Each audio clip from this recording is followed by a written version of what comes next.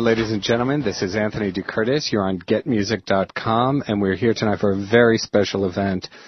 The King of Pop, one of the greatest artists in the history of popular music, Michael Jackson, is going to be joining us. He has a new record coming out on October 30th. It's called Invincible. You can check it out at michaeljackson.com. You could pre-order it at getmusic.com. Michael, it's a pleasure to talk to you, man. Pleasure to talk to you. Well, t- tell us a, a little bit about the new album. You know, it's your first new uh, you know record in six years. Uh, do you still get excited when when you have something come out? Obviously, you've accomplished so much over the years. You know, do you still feel that like, wow, I wonder what people are going to think, or you know, feel all of that kind of anticipation? I kind of parallel it to a, um, you know, it's like uh, the gestation process of uh, birth. Mm-hmm. You know, it's uh, you know, it's like having uh, children, you know, and uh, having to raise them and bring them out into the world. And once they get into the world, they're on their own. So it's uh, it's very exciting. I mean, it's you never get too used to it ever. It's uh, it's an incredible process, you know. But you leave it in the hands of God, like you do when you're having a child. Absolutely. We've got uh, questions are already beginning to pour in from your fans on the internet. We've got Electric Eyes Mail writing in. It says, Michael, you are in my mind the greatest artist of all time, the true king of pop, rock, and soul.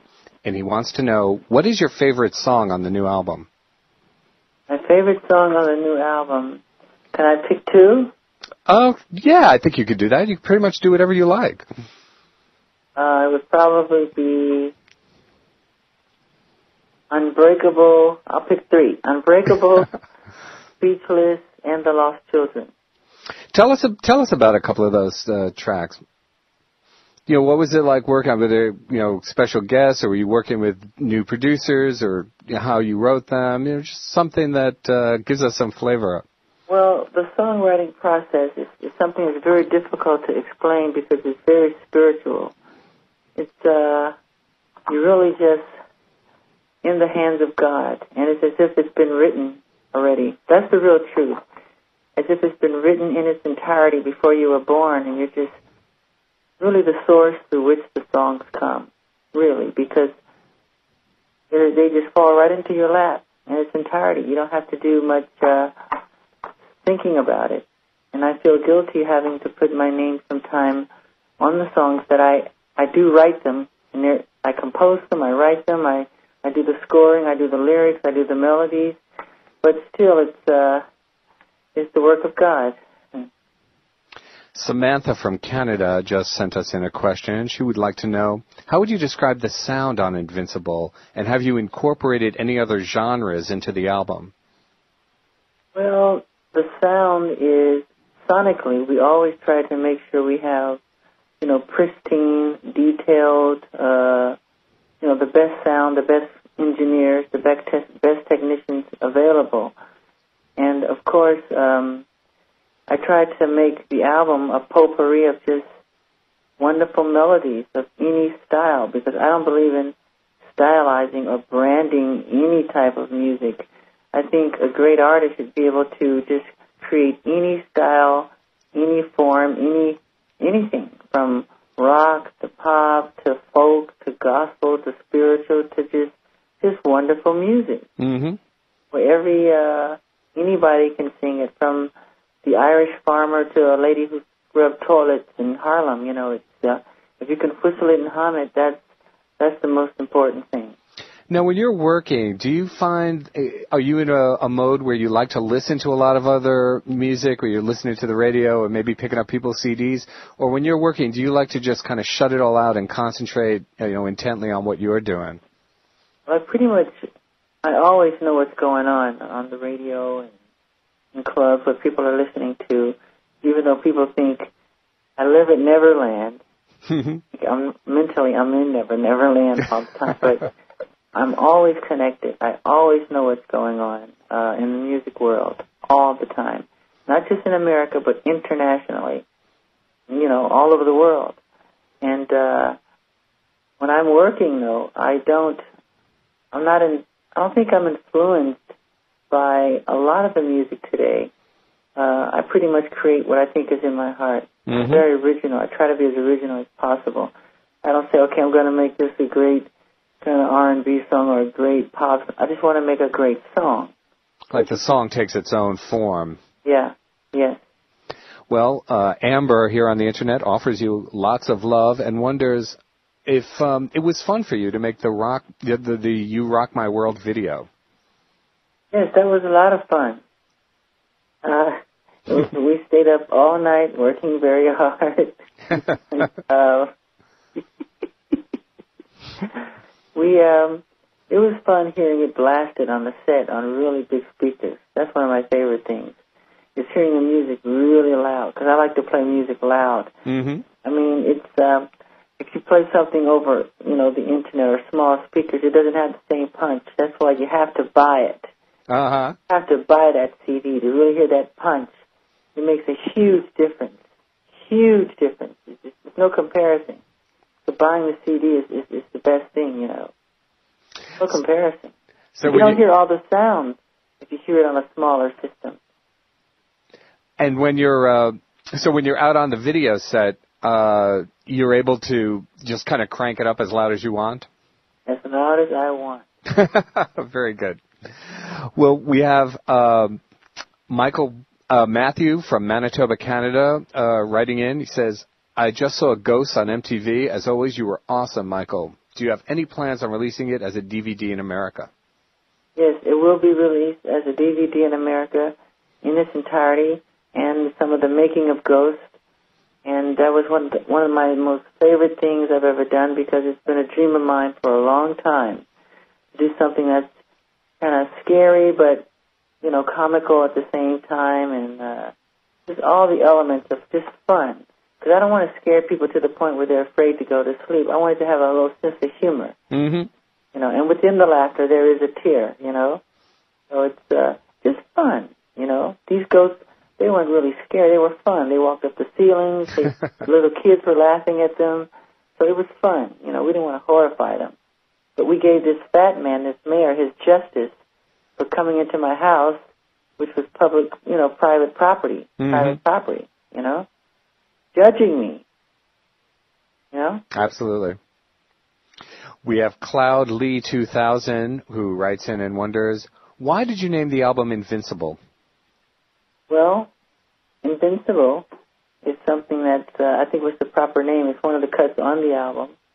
And I've been an artist, uh, not to pat myself on the back, but the Guinness Book of World Records just enlisted me uh, another time as as the artist who's had the longest stretch career since I've been a little little kid to this point, would still hit records and number one records.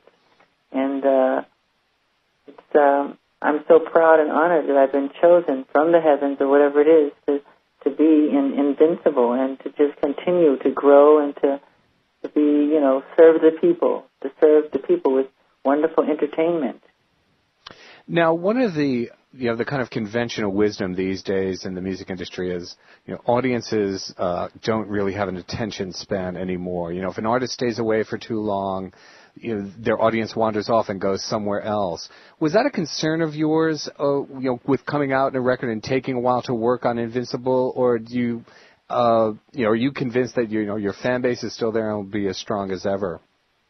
I'm, I'm, you know, you asked me this question. It has never concerned me once, and I've never thought of it because I've always known if music is truly great, or if a movie is truly great, people want to see it or hear it. Mm-hmm.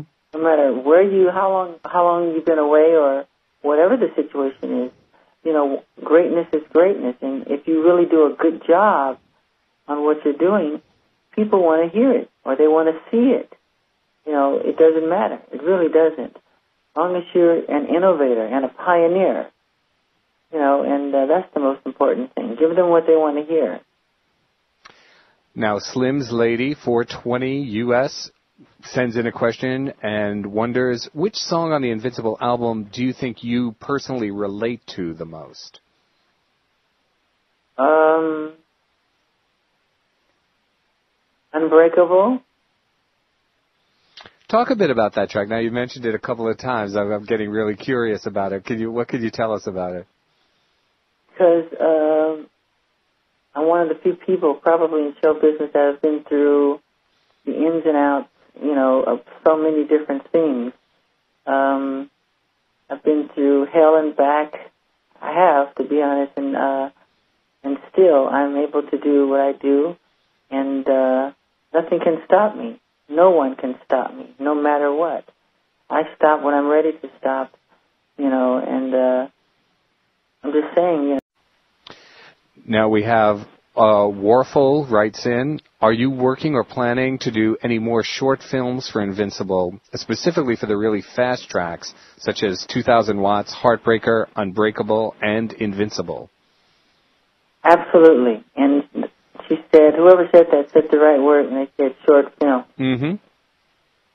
And uh, that's what we try to make them, short films, a, be- a beginning, a middle, and an ending of a story uh, to take the medium to a new level. But absolutely, there's like a, just an array of uh, an encyclopedia of just great short films to uh, to make from the album. It's uh, very exciting. I can't wait to do Threatened, which mm. is the kind of scary one with Rod Serling from the Twilight Zone. Fantastic. You know, we, we that's I can't wait to get my hands on that one. We have a question here from uh, Napoleon Three uh, says his name is George, really, and then says, um, Michael, I think this is your most cohesive and impressive album since Thriller, or really off the wall. What are some of your most memorable moments while recording the tracks for this album? Most memorable moments were it was of all my albums, I would say this one was the toughest because I was hardest on myself. Uh, I wrote so many songs. I don't even want to say the number. just, just to get to uh, how many are on there? Sixteen. Just to get to the sixteen that I that I think are acceptable, and um, and it's the album where um, I didn't have children before the other the other album, so mm-hmm. I caught a lot of colds.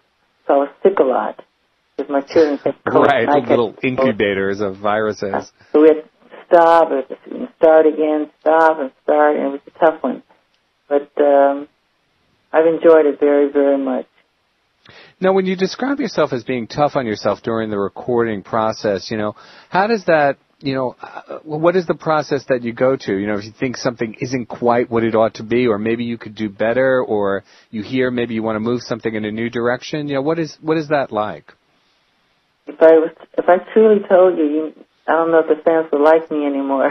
I've had musicians who really get angry with me because I'll make them do something literally several hundred to a thousand times mm-hmm. until it's what I want it to be. Um, but then afterwards, they'll call me back on the phone and they'll apologize and they'll say, "You were absolutely right. I've never played better. I've never done better work. I outdid myself." Is what they'll say. And I said, "That's the way it should be because you've immortalized yourself. This is here forever. It's a time capsule." It's like Michelangelo's work. You know, it's like uh, the Sistine Chapel. It's here forever. And everything we do should be that way, you know? To try to bring it to the best possible standard that it can be. Absolutely. Now, Sweet Pea 4286 wonders, are there any surprises on the new album? Any surprises? Boy. I think it is what it is, and you can interpret it the way you want to interpret it. Um, but uh, that's all I can say about that. Other than some, um, maybe we'll be releasing some surprise CD singles at some point, something like that. Yeah, in the future though, that's that's coming up. Very good. I wanted to ask you, just as a, a performer, you know, recently you've done a couple of shows. You did a couple at uh, Madison Square Garden, and you, uh, did a show at RFK Stadium, a benefit concert, and you know, obviously, you know, you live performance has been one of the things that has distinguished you, you know, throughout your career. And you'd been off stage for a while. I wonder if you could talk a little bit about what it was like to be out there again in front of an audience and, you know, getting that opportunity to perform again. It was um, hard to explain. It was quite exciting to feel the audience and to see them and to be accepted so warmly by them. Um, it's just an incredible feeling. It really is. They're, they're there to support you and to love you and to hear their favorite songs and just stand there and they're just, you know, giving you so much adulation and love and hysteria. It's just full of love. It's wonderful. It, it's very emotional. You know, it it uh, it brings me to tears. It's wonderful. I remember in your book you described that like sometimes on stage is when you feel the most alive. That those are the moments that you know really are the oh, kind of the most transporting for you. It is. Just being off stage is difficult for me. Uh, being on stage, either writing music or writing poetry, and being on stage and watching cartoons are my favorite things to do in the entire world. Uh huh. Um, um, that's what brings me to life. I love that. That's what inspires me to do what I do. You know. Excellent. We have a question here from someone's calling himself the best dancer in the world. Well, we got you on the line. I'm not sure that uh, we might have to contest that a little bit, but anyway, the best dancer in the world wants to know. Uh, Michael MichaelJackson.com said that Jay Z will appear with you on the new album. Is that true? No, but we are talking about doing something in the future together. Is Jay Z an artist whose work uh, you've liked, as uh, or as a person? Have you you know spent time with him? What, what what's your impressions of him? I think he's excellent. He's incredible rhythms, counter rhythms, and he's just one of the newer contemporary artists that the kids really love. He's really really great. We have a question here from Sweden. Tony from Sweden uh, writes in and says, "Hi Michael, you're the most amazing artist of all times. I just love your music." Do you want to tour, and will you do a world tour or a European tour? Um, gee, uh, we haven't thought about it much right now, but um, I don't want to say it's not in the works. Um, we're concentrating on a lot of different things right now, so I can't quite say. Fine. I wanted to ask you. You know what? In the near future, I'm sure there'll be something that'll come up in the near future. People should uh, keep their eyes open for uh, announcements on that front. Um, we have a question from Nuria. Describes uh, uh him or herself as a 32-year-old Spanish fan writing from Los Angeles. Would like to know if you have any plans to release any of your songs in Invincible in Spanish or any other language besides English.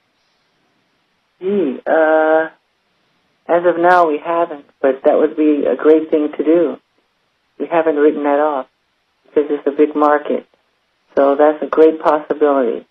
Especially for someone like yourself who has a you know big international following. You know, for for many people, their you know their following is you know in England or in the U.S., but you know your your following is is very international, obviously.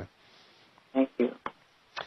Um, talk a bit. One of the things that was uh, you know, kind of a little bit of a sensation this year was Alien Ant Farm's cover of Smooth Criminal. I wanted to see if you'd paid attention to it, if you uh, you enjoyed it, or how you felt about it. I saw it and fell in love with it. Excellent.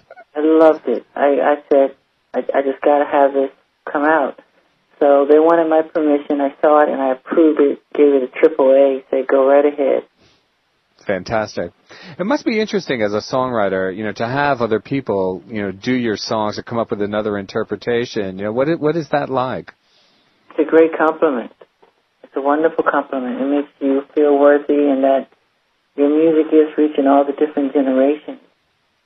You know, and all the different. Uh, I mean, everybody's out there listening.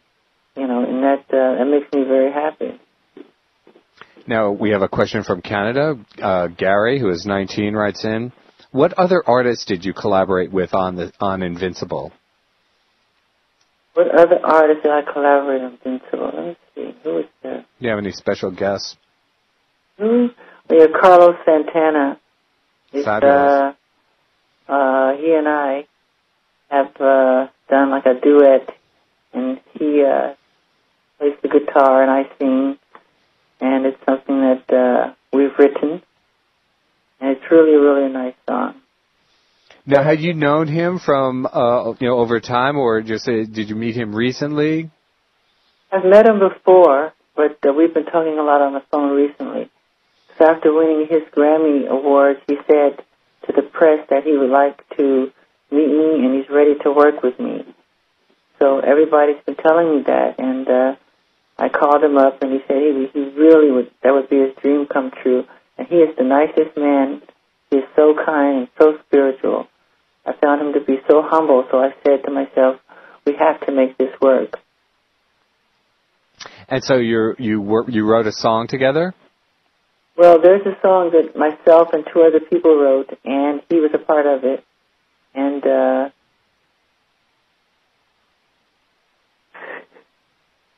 whatever happens. Oh, okay. We have um, a question from Anicia. It says, Michael, are you a fan of Chris Tucker? She describes it being in your uh, your recent video. I'm a huge, huge fan of Chris Tucker. He makes me laugh so hard. Um, I uh, I've seen all of his films, and he's just a funny guy. And I like people who can make you laugh without using vulgarity mm-hmm. or bad words. It's just, and you know, for the kids, they're for all demographics, all the corners of the earth. We have another question from Canada. Tony, who's 17 from Canada, writes, uh, and wonders, how long does it take you to produce a song from the initial conception to the final recording and editing phase? Well, I guess it probably varies from from. It does. It does vary, and for me, it's, it's really different than most artists because I'll I'll do I'll do a couple of songs. It could be five, six, seven, or eight, or ten of them, and throw them all away and start over. So that's a difficult question to ask me. Wonder if is there a specific, maybe a specific song on the album, say Invincible, you know, how long, you know, when, do you remember like getting the first inspiration for that song and then maybe the day when you finally said, you know what, this is it, I've got it exactly the way I want it? Song Invincible itself? Mm-hmm. Um, yes. Yes, uh, I remember having the guys go back in and create more innovative because we don't. Um, this is our thing. We don't uh, put a lot of sounds on the album that are sounds from keyboards uh, that are, uh, you know, pretty much programmed into the machine. Mm-hmm. Go out and make our own sound. Mm-hmm. Hit on things, we beat on things, so nobody can duplicate what we do. We make them with our own hands with, with we find things and we create things, and uh, that's the most important thing to me to be a pioneer, be an innovator. Absolutely. Now we have Vernay who uh, writes to us from Newark, Delaware, in the good old USA, and uh, Vernay uh, says, "I'm so pleased with the new album, but I was particularly touched by Speechless. What was your inspiration for this song?" Speechless was inspired to me by um, I was I spent a lot of time in the forest. I like to go into the forest and I like to climb trees. My favorite thing is to climb trees. Mm-hmm. I go all the way up to the top of a tree and I look down on the branches. Whenever I do that, it inspires me for music.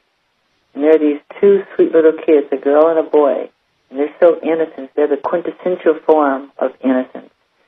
And just being in their presence, I felt completely speechless because I felt I was looking in the face of God whenever I saw them. Mm-hmm. They inspired me to write Speechless. Well, and that answer actually might uh, touch on this next uh, question which we have, which wonders where do you look for inspiration when you write your songs? Does inspiration come from a variety of different places? Well, the best songs that are written write themselves. You don't ask for them; they just drop into your lap. Then there are those songs that you know you kind of uh, incubate. You know, you plant the seed, let the subconscious take its course, and within time you hope something comes, and most of the time it does.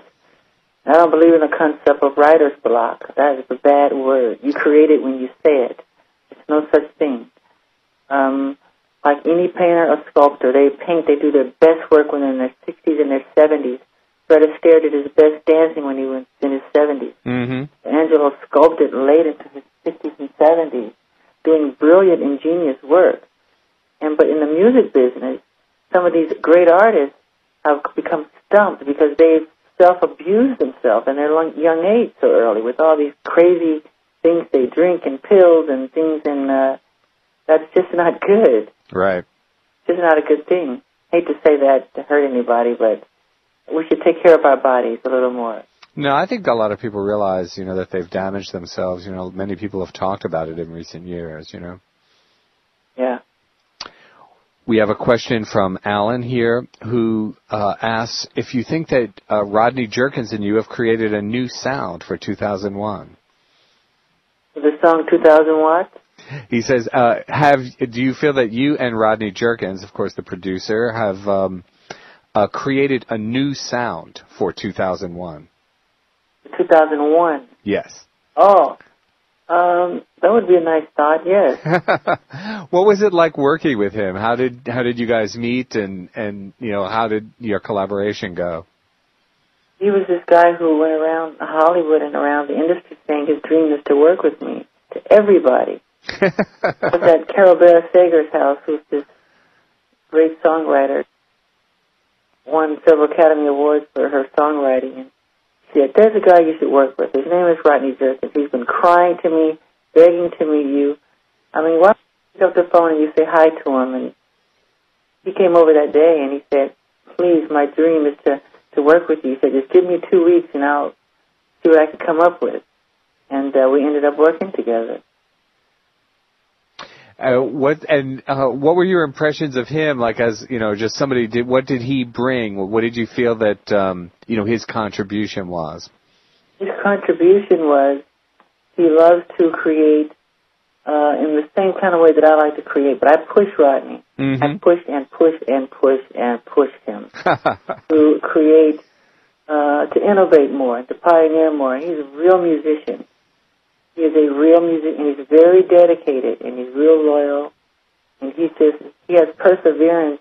I don't think I've seen perseverance like his than anyone, because you can push him and push him, and he and he doesn't get angry. He um he's just a great guy. He really is. That's a great compliment. And um and Teddy Riley is just uh incredible.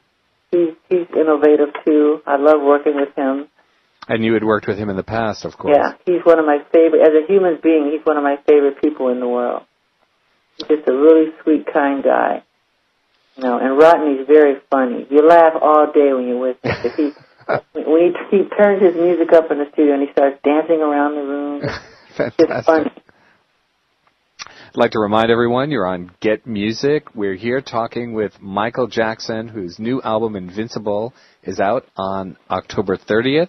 You can check it out at michaeljackson.com. You can pre-order it on Get Music. Now, we have a question from uh, It's Jackson, who is really named Rachel from Connecticut. Wonders, do you have any new dance moves that you've invented while you were making your album? For the first time working on any album, I put a halt to dancing because I was uh, just so engrossed and so infatuated with what I was doing. Um, uh, I did something that was very unusual. But once the music started playing, of course, I started to dance. But um, uh, it's starting to now create itself, and uh, with the music playing, I'm coming up with some new things but that's coming in the future with the newer short films.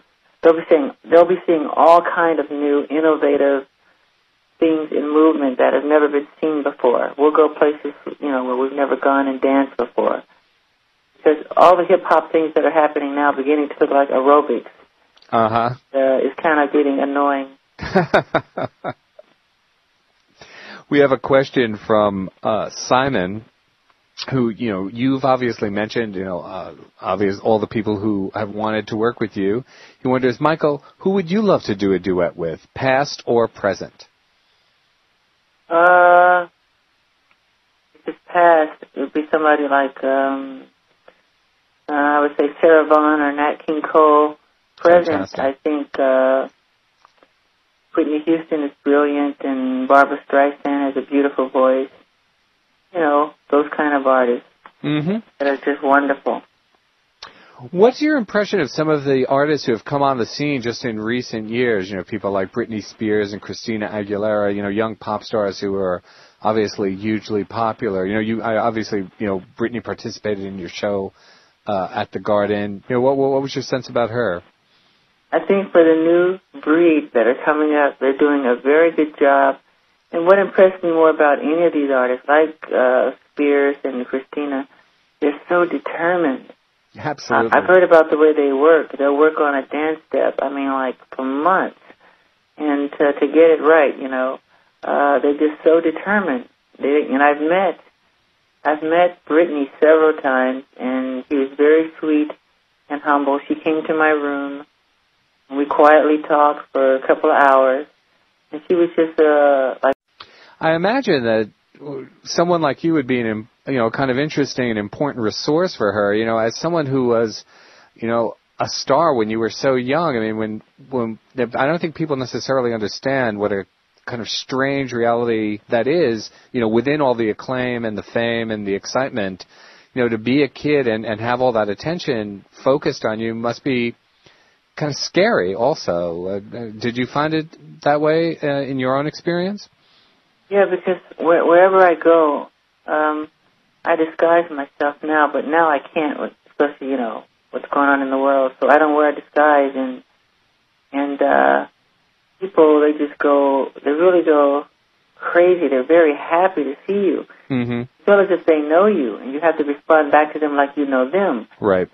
They feel they personally know you. That my pictures are on their walls. You know, my music is playing in their house, so they they grab you and they snatch you and they touch you and they. So I just respond back with hugs and loves and kisses because I love, I love, I truly love my fans, truly, truly from the heart. That's the real truth. I love them, and the ones who are um, like if we go to a certain country and they're outside and outside they're sleeping on the street and I, I throw them pillows and cover and everything and I I have my security guards buy them pizza so they can all eat and we get them candles, and you know we really take care of them. They're very, very, very sweet and supportive. Sam, who is 20 years old and from Texas here in the U.S., wonders, will you release Butterflies as a single that's one of your best songs? Butterflies is the the single that's released now. It's the single now. Someone, thank you very much. Great. What other you know plans do you have? You know when you uh, you know as somebody who's been a kind of innovator, uh, you know in terms of uh, making short films to accompany your songs. You know, do you conceptualize all that ahead of time, or you know do you decide on a kind of step by step basis? You know, this is going to be the next single, and I want to make uh, you know a kind of visual statement to accompany it. You know, how does that all proceed? As the short film itself? Yeah. Well, I let the song pretty much speak to me, and I get in a room, and I pretty much start making notes. Then I'll I'll speak to a uh, a, a writer like Stephen King and myself. We both of us wrote Ghost, mm-hmm. wrote them Ghost, and we just on the telephone started writing it, and uh, and to let it create itself and go where it wants to go. But we try to do things that are very unusual and it's it's it's not an easy thing to do because you have to time it with the song, and you can't spend too much time, and a special effects can take five months sometimes Absolutely. to execute. So it's, it's not it's not a difficult thing. And the record company is saying, "Come on, come on, come on, we have to go, we have to go." so I understand. So we we try to do the best we can in the amount of time that we can execute it in. We have a question now, uh, Helen from Scotland says, if you could only perform one of your songs for the rest of your life, what would it be and why? Ooh, it would probably be if I could pick more than one. If I could pick two or three. Yeah, I think we can go that far. Heal the world, speechless. Um, that's a difficult one. I think, uh, hmm.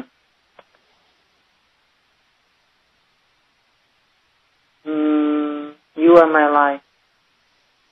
It sounded you went for the ones that are the the kind of the the biggest statements in a way. It seems to me. Yeah, because uh, it's important that they're very melodic and that they have a great important message that's kind of immortal that can relate to any time and space. You know. One of the things actually I wanted to ask you is, you know, we've, uh, you know, had these, you know, horrible uh, terrorist attacks here in, in New York City and, and in Washington D.C.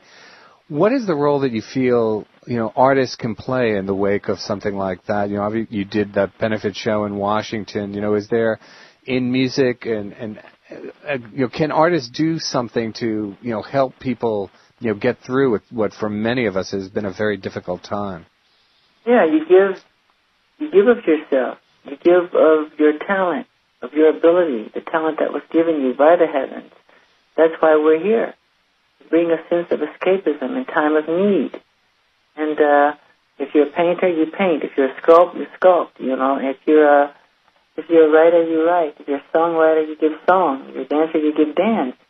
You give people some love and some some bliss, some escapism, and to show that you truly care from the heart and be there for them, not just from a distance, but show you truly care. You know, take the long mile mm-hmm. and, and be there for them. And that's what I did, and many others who cared and helped. And it's an important thing. We have a question now from Chili Boy who wonders uh, he always wanted to know how do you come up with the dance move, and how long does it take for you to, you know, put the choreography for a song together? I pretty much just get in a room and I start to dance, and uh, I don't create the dance. The dance creates itself, really. So I'll do something, and I'll look back at I'll look back on tape, and I'll go, "Wow, I didn't realize I had done that."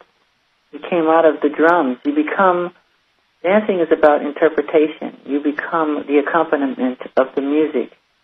So when you become uh, the bass to Billie Jean, I mean, I couldn't help but do the step that I was doing when the song first starts because uh, that's what it told me to do. You know, if I turn around, spin, stop, move my legs to the side, and then lift up the collar of my shirt, that's for that moment in the accompaniment.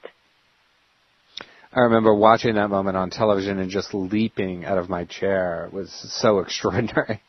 Uh, thank you very much. it was really one of the great, great moments. And it's all spontaneous movement.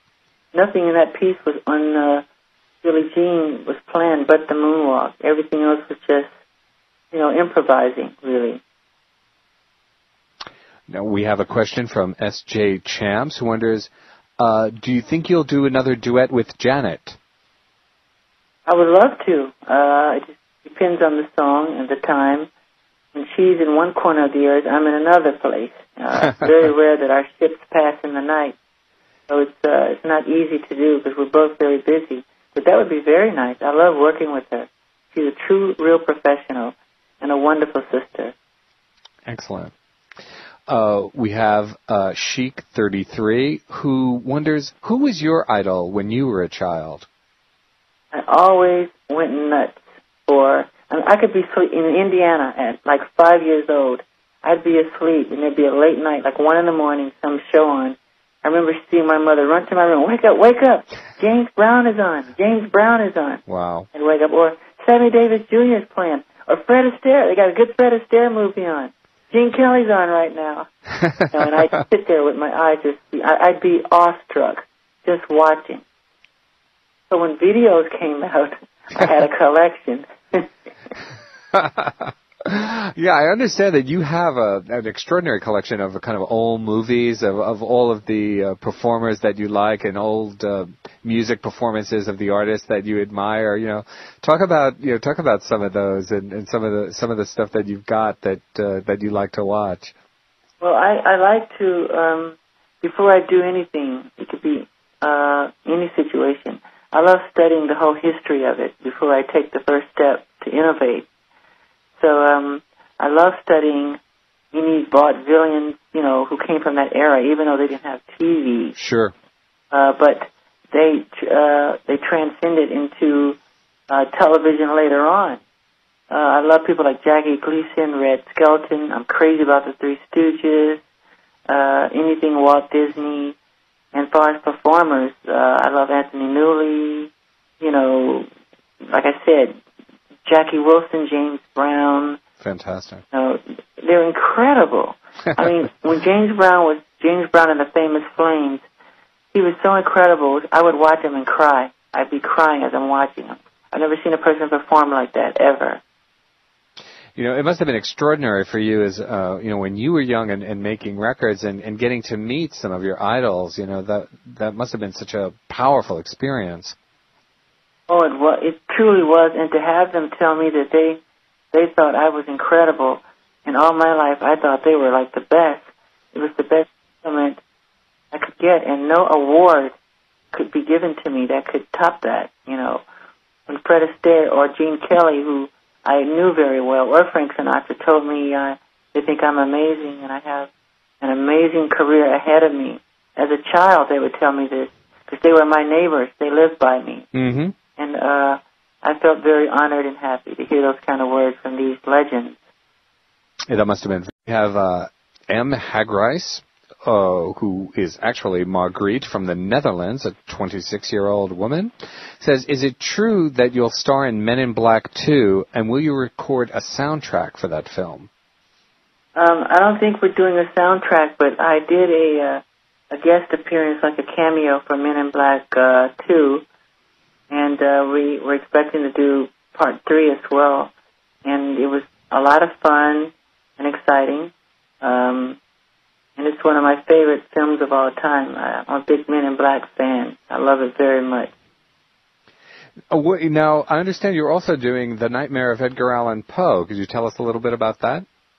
Yes, that one's coming up. It's about the great prolific American writer, uh, Edgar Allan Poe. Kind of a scary guy himself, too. He's very diabolical and very dark, and but he was a genius. And his, but his own personal life is very interesting, and that's what it's about. You know, how he was, you know, what, what he had to go through to create such ingenious work.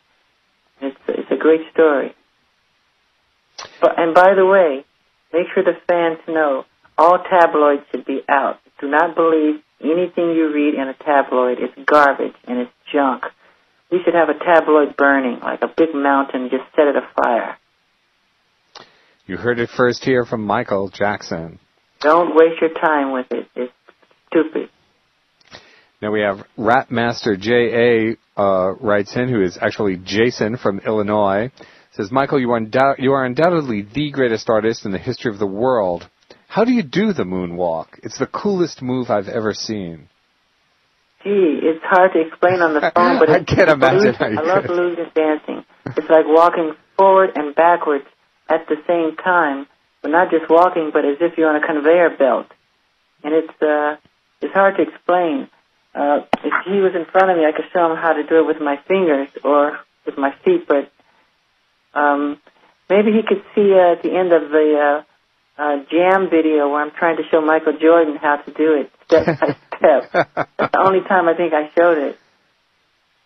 Now we have uh, Mark the Shark uh, who asks, uh, "How do you do that lean on the video to Smooth Criminal?" Oh, Smooth Criminal. well, um, that one happened. It was in the middle of the shoot, and it wasn't. Uh, I choreographed it right at the moment. It took us an hour to execute it uh, it's a special effect that uh, we kind of lean as far as we can, and we uh, we uh, let the the uh, conveyor belts do the the rest. You know. Now, Glenn from Toronto, Canada, uh, asks. Do you feel a special spiritual energy when you're performing? Do you feel you are connected to a higher force? Because this is what you make many people feel when they see you live. That's exactly what it is. You're connected to a higher source and you just go with the moment and you become one with, you know, the spirit. And not to sound religious or anything, but it's a very spiritual, very much like religion and uh it's a it's a God given gift and you just go with it and I'm honored to have been given it. And uh it's fun to to become one with the audience. It's, it's a it's a oneness you know. I was reminded of uh, some of that when you were talking about you know the way you would work out your moves. You know, listening to you know just listening to the music and kind of disappearing into it. You know, it has that kind of uh, you know really mystical feel. Thank you. Now, uh, Charlie sends in a question. It says, um, "What achievement in your life are you the most proud of?" Boy, uh, one of my biggest dreams since I was really, really little. I think around six or seven years old, I used to always buy the Guinness Book of World Records. Uh huh. you know what the answer is going to be. I said, hmm, I love to dance and sing. Uh, hopefully one day I could be in this book. I, I and I believed that it was possible. So when Thriller became the biggest selling album of all time, and it was enlisted in the Guinness Book of World Records, and uh, there's so many other lists. You know, they've enlisted me in there like seven different times now. It was my the happiest time of my life. I was so happy. To what do you attribute, you know, that level of, you know, ambition and possibility that you felt when you were a kid? You know, I think it's sometimes hard for for people to feel, you know, either, you know, you weren't obviously rich as a kid or, you know, from a from a kind of fancy background, you know, but still somehow you you were able to envision, you know, a life of success. You know, do, what do you attribute that to? I attribute that to my parents who always taught us to persevere, believe in yourself, have confidence no matter what you do. Even if you're sweeping floors or painting ceilings, do it better than anybody in the world. No matter what it is that you do, be the best at it and have uh, respect for others and be proud of yourself and, and to honor, to be honorable, you know? Absolutely. Now, you've been making records for a long time. You've been a force on the music scene for many years. What do you think are the biggest changes in music that you've seen? Biggest changes? Yeah, what's changed about the music industry or about you know the music that's out there? What do you think is is different? Well, I think uh, I don't think people thought the rap music would last as long as it has, mm-hmm. and it has gone through evolutional stages. There's more melody in it now, and it's right. more acceptable because melody will never die. It will never die, and the rhythm things are a little more rhythmic now because people want to dance. It's part of the human condition. It's part of our biological makeup. Our cells dance when we hear beats. Mm-hmm. Ever notice a uh, a, a one-year-old child will start moving, hearing music. How do they know to move? Because it's biological. It's not just hearing of the ear; it's feeling you know, and playing music, the grass and the trees and the flowers, they're all influenced by music. They become more beautiful and more vibrant in how they grow. Music is a very important and powerful substance, and all the planets in the universe make music. It's called music of the spheres. They all make a different note. They make harmony. So it's harmony even in the universe as we speak. Now we have a question from Holland. Uh, Femke from Holland writes and says, uh, I love the special editions from Off the Wall, Thriller, Bad and Dangerous. She loves you. And asks, uh, why does Invincible, why will Invincible be, be coming out in different colors? Because we wanted the fans to have some fun with it and collect them and, uh, it's a, a limited edition, I think. And, uh, there's albums that I, I love and, and I would buy them five times, even though I have the same cover. Uh-huh. That's five times because I love that album so much. So I imagine if they did a different color or just changed the cover, I would buy it five more times. and, uh, and we just wanted the fans to have some fun with the pictures and with the colors and just to try something a little different. That's why we did it. Now we have uh, TJ, who is 17 and from Australia, wants to tell you that uh, you are still my hero. It says, How do you explain your ability to inspire so many people all around the world? I just do what I do, and I love doing it. And uh, I love art. I love anything in the arts. And uh, if they're inspired by it, I feel I'm. Uh, I pray that I'm doing my job, what I'm here to do on earth. Because uh, I love the fans, I love the kids, I love the babies, and uh, that's what gave me my inspiration. The children, the babies. Now, Michaela from Pennsylvania, who is 14, writes, uh, Michael, I'm only 14, but I've been a fan since I was 10. You've accomplished so much more than any artist ever. I was just wondering, if you could change one thing about your life, what would you change? I would like to be able to go out in public uh, and just be normal sometime without people recognizing who I am just to get a little bit of uh, a feeling of what it's like to, you know, be of the regular norm, to see how things are done, learn what people speak about when they're just casually talking. As soon as they see it's Michael Jackson, the conversation changes. It all becomes about me and not about the situation, the moment that's happening at the moment. Right. That that would I would learn a lot from that. I don't get to see that unless I disguise myself and put on a lot of things, and then they stare at me. Then it's even different. It's not the same even then. So it's a difficult thing to pull off. But tell him that's a very great question he asked. No, that's a really interesting question, actually. We have uh, an interesting answer as well. We have uh, Greg from Glasgow, Scotland, uh, wants to know when do you plan to release the charity song "What More Can I Give"? Well, it's being uh, we're putting the final voices on, and uh, it's coming very, very soon. We're putting it together now, the final touches. This is a very important song for the world to give some healing and some loving and some caring to those people who were thrust into orphanage, uh, or just within a minute of seconds they lost their parents or their loved ones. You know. Absolutely.